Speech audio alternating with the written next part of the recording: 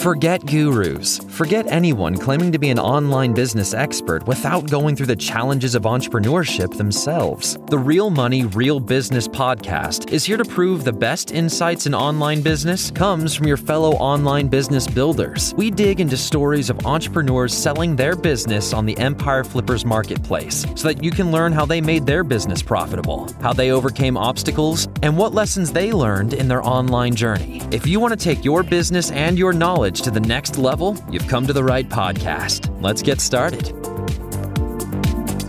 Hey everyone, welcome to another episode of the Real Money, Real Business podcast. We record these interviews so that potential buyers can learn more about the business and the seller to help them make an informed buying decision. If you would like to learn more about this business, including details like what type of business it is, how much revenue and profit it makes, and all of the assets included with the business, simply visit empireflippers.com forward slash marketplace and search for this business's listing number, which you can find in the video thumbnail and in the description. Or if you're watching this on YouTube, you can click the link in the description to go straight to the listing. So without further ado, let's get into this interview. First up, let's learn a little bit about you. Can you tell us about your background in building and running online businesses?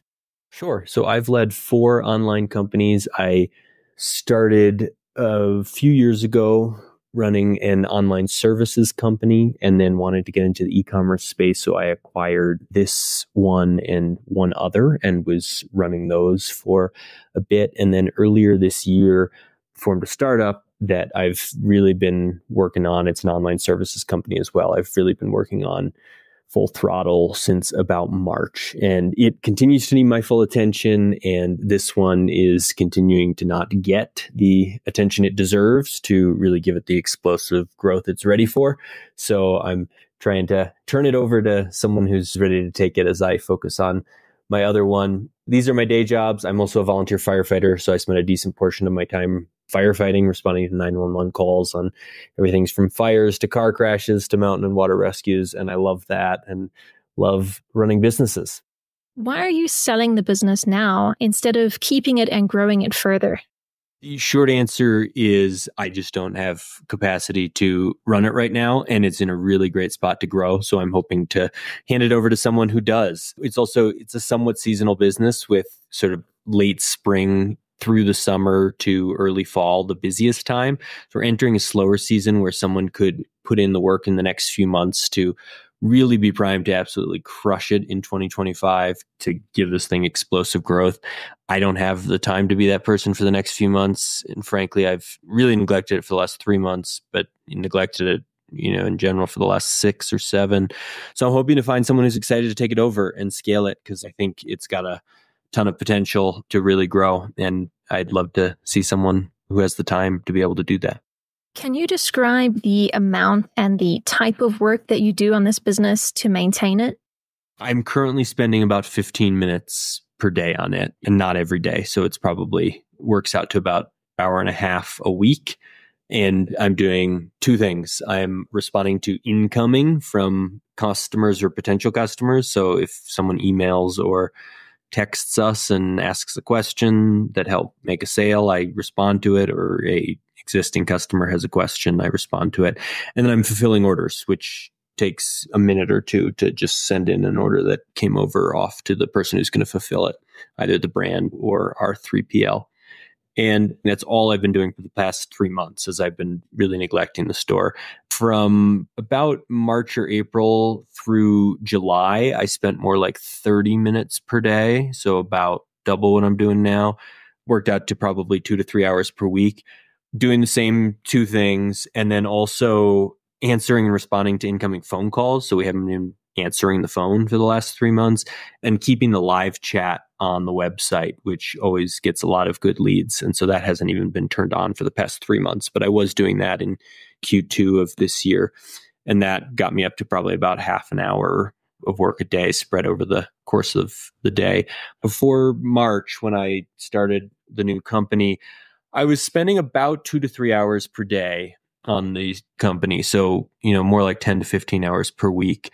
And that would include things like adding new products when our brands introduce them, to updating products with new pictures and videos, to adding new SEO based pages to increase our incoming traffic, working on developing our own products. And all of that work, maybe with the exception of some of the developing of our own product, but everything else could have been done by a VA. I didn't because I wanted to be immersed in the business as I was learning it and working on it. But I new buyer could really get this thing primed to grow considerably in 2025 by doing that same 10 to 15 hours a week and they wouldn't even have to do almost all of it. I would say they could spend an hour a week on it and give the rest to a VA or someone on their team, whomever. So I think it requires more work than I'm currently putting into it of about 15 minutes a day, but not that much more and doesn't have to be by the buyer. So, if you were to keep this business, what are some of the ways you would try to grow it? If I were keeping the business and I wanted to help it grow, the first thing I would do, I'd immediately just start focusing on the things that have worked for us in the past that I've been neglecting over the past six months. So I would turn the live chat back on the website, and you might get like two to five chats a day, but those are pretty darn good leads that responding to them quickly often leads to sales and takes up very little time. I would respond to incoming voicemails and phone calls so that we're getting back to folks in a reasonable amount of time and you know that can be by text message or email but certainly be responding to them and updating products a lot of our brands have launched new products in the last 6 months that we haven't even put on our site so you know, I could do that quickly and have a lot of new offerings and then start putting in new SEO driven pages based on proven long tail keywords or updating our existing pages just to you know make them fresh and better. That would be like the easy low hanging fruit. Then would prioritize so we recently got the biggest brand in our industry to agree to work with us that we can sell their products now. So i would bring them online add their product pages you know, optimize them for seo add them to our product review pages to start sending traffic to their product pages and really get them going. That's a huge and already set up opportunity for growth. Promote our own brand. We've got our own branded products as of this year. And so just do a better job of pushing those out, partnerships on those, social media on those, consider ads for those. I would do paid ads. We've never done paid ads before. We've been entirely SEO driven. And so would start to think about paid ads for growth. And then we have not really touched our 5,000 person email list in many, many months. So I would re engage with that to start generating revenue there. Longer term, since we do have some of our own products, I'd think about an Amazon store, since that's just another good marketplace to be in. I would think about expanding our own product line based on customer feedback we're getting. And all of this not that complicated because we've already got all of the legwork in play. You know, a long established website, good traffic, trusted name in the industry. And so it's just building on top of that with some pretty easy and straightforward things. Right. And what would you say are the biggest risks with this business that buyers should be aware of? The biggest risk is the fact that we're 100% SEO driven. We're a Shopify store that 100% of our traffic comes from SEO.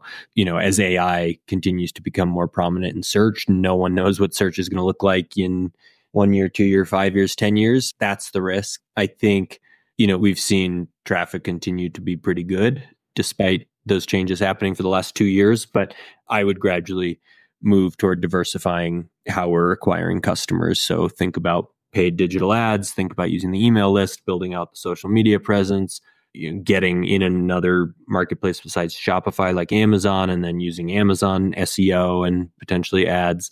Partnerships, there's influencers in this space who would love to work with us more. And so I'd just be trying to minimize the risk of being fully dependent on SEO by getting other avenues going as well. How much support are you willing to offer the buyer who acquires this business? I want to see the store succeed. So I will be helpful to the buyer.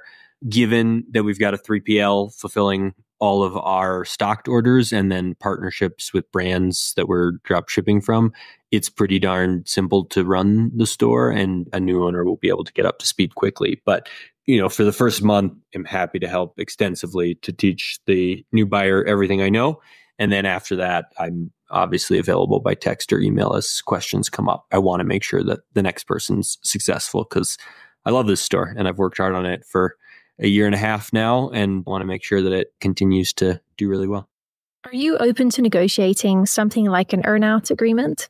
I'm looking to, you know, with what I just mentioned of obviously helping the new buyer for a month, I'm otherwise looking to fully turn the reins over to someone new because I got the company I'm trying to build and I need to give it my full attention. So I'd have a strong preference for a deal that gets me fully out and everything fully sold so that I can focus my attention on the other business. But look, I'll consider all competitive offers that come through, whatever the structure. So, you know, my preference is for everything up front, but open to hearing what people want to offer.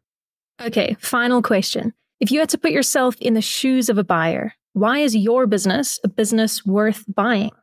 Like if I didn't have a company that I'm really trying to pour all my time into right now, I would not be selling this. Or, you know, if I didn't have either, I would be wanting to buy this because it really is a solid company. It's got great brand partnerships. It's got a long term website with solid traffic. It's just primed for explosive growth. And I'm excited to find someone who's ready to do, you know, not even that much work, but put in a little bit of work more than I'm currently able to put in to help it get there. So, specific reasons that I think it's worth buying. The industry itself is fast growing. COVID really made it take off and it hasn't shown signs of slowing down most of the brands in this space are doing really well, and we are partnered with all of them to do well beside them. On that note, as I mentioned a little bit earlier, we just lined up the biggest brand in the industry. So we haven't been selling their products in the life of our store because we haven't had a partnership with them, but I was able to get them on board. And so now any we can start selling their products right now I just haven't had the time to set them up. But the new owner could do that on day one and then have the biggest brand in the industry on their site. We launched our own line of products earlier this year that have begun to sell, and those are you know much better margins. We know them much better. We're starting to build our brand, and it's super early days on that still. So a huge opportunity for a new owner to lean into that. We're nicely diversified in drop shipping and stocking, about 50% drop shipping with our brands and 50% stocking our own stuff and a few of our brands. And so, you know, that is a nice spread, not all drop shipping. We've never advertised, exclusively SEO based. So great SEO to build from, but also a huge opportunity to get into some paid ads. We've got excellent reviews on all of our top selling products. We've got two dealers who are listing our products on their websites, dozens of affiliate that push people to the products on our site, and about a half dozen of them reliably bring us sales each year. We've got a 5,000 person email list that we have not touched in months. So, a huge opportunity to lean back into that and really make the most of it. Opportunity to expand at Amazon here. I think it's just super primed for growth. It does not require being full time in it. In fact, if you wanted to give it to a part time person, you could do about an hour a week on it and really still grow it or you know 10 to 15 hours yourself or through that person and that's all the work it would take to i think capitalize on all these opportunities and really have an awesome business leading into 2025 so i think it's a great buy and i'd be doing it myself if i weren't otherwise occupied. All right everyone. Thanks for listening. To learn more and see if this business is still for sale, head over to empireflippers.com forward slash marketplace and search for this business listing number, which you can find in the video thumbnail and description. Or if you're watching this on YouTube, click the link in the description to go straight to the listing. Once you've unlocked this listing, you will find everything you need to know about this business. So, thanks for joining us. See you next time.